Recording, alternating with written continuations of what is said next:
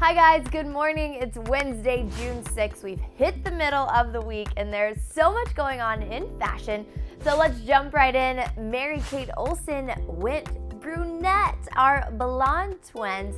One of them now has the darker hue hair and it looks fantastic, you guys.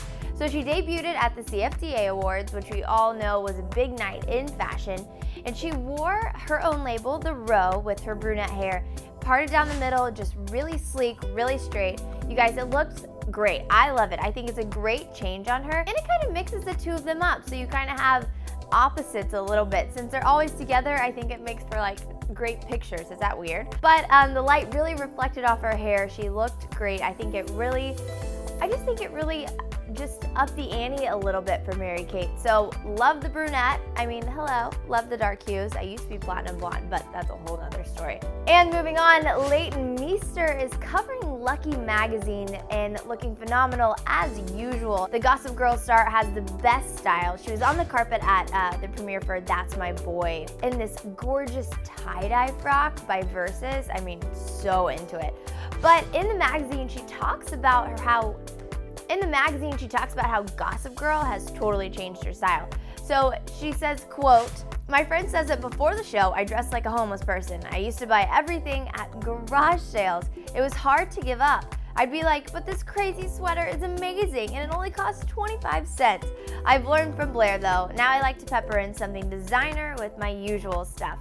So we can all learn from Blair the high-low philosophy that a lot of people love. But I mean, if you can find a 25 cent sweater, why not? I feel the same way, Leighton. But I do love your style now. You really look fantastic on the show and off screen as well. But anyways, Leighton also talks about her makeup routine in the mag to the magazine. She says, I've stopped wearing makeup when I'm not working. For a while I thought I had dark circles and bad skin, and then I realized I was seeing myself that way because I didn't recognize myself anymore without makeup. Now when I wear it, I think I look really weird. So we can all take cues from Leighton there and just downplay the makeup, especially during summer when you're getting a little bit of extra color and a little bit of extra sun, then you can kind of tone down the makeup a little bit. A little tan goes a long way in the makeup world. So that's it for Leighton covering Lucky Magazine. Love your cover and love your interview. Love you, Leighton. Come on. Glamour Magazine, we talked about Julianne Hough covering the mag yesterday, but they came out with an article that I thought was really, really interesting. It's all about what guys don't want you to wear on a first date. Um, I think there's 16, but I picked out a few of my favorite that I was like, what?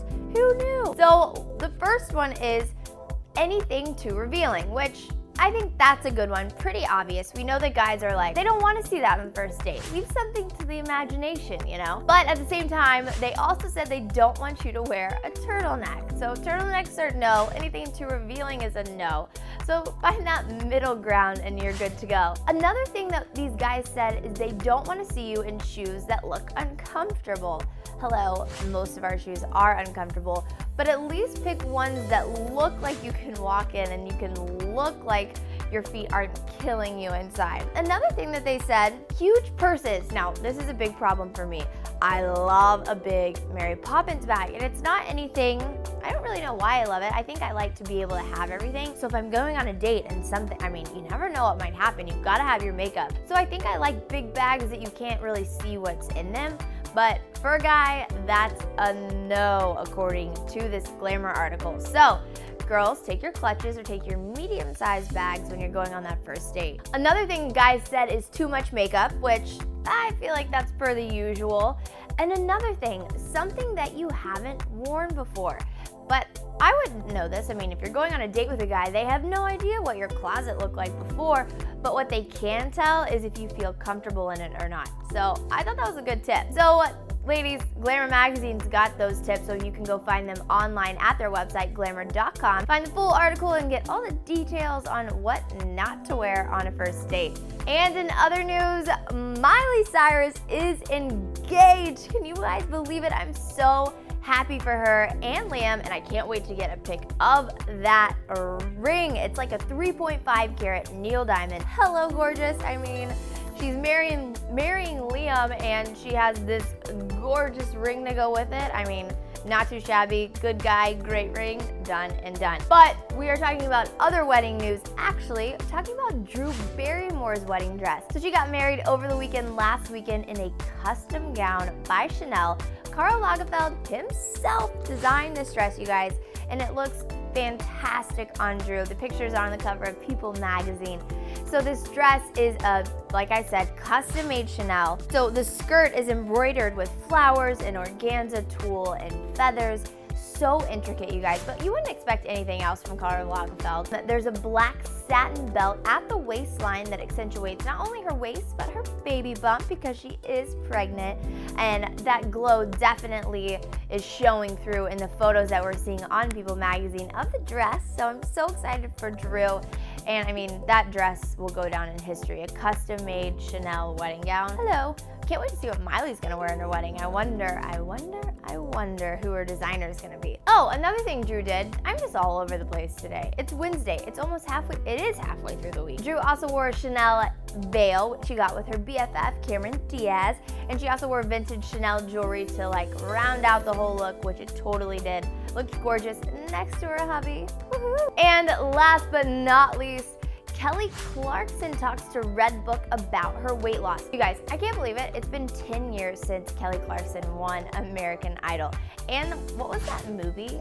Like from from Kelly to who was she in that movie with? Another crazy American Idol haired guy. She's on the cover of the magazine talking about weight loss. So she's lost, I think, around 30 pounds, which is awesome. It's always great to be healthy, but she does say something that, according to our culture, is just so out there, but it's so real and it's so healthy. And she says, I do cardio, I run, I strength train using my own body weight. I don't like free weights because I build muscle easily. Really, what I try to instill in my fans is to be healthy and happy. I have no desire to be super skinny, which we all need to take a clue from. It's all about being healthy and it's not about being thin. So hit the gym, eat right, and then you'll have the body that you want without being detrimental to your physical well-being. So way to go, Kelly. Love her on duets. Are you guys watching this show? Fantastic. That's all I got for you in fashion world. Kind of slow, but kind of not. I mean, big headline. Miley's engaged. Can't get over it. Really can't. I can't wait to see dress. I mean, that's enough. I'm not going to say it again. But I'll see you guys tomorrow morning, 9 o'clock. Bye.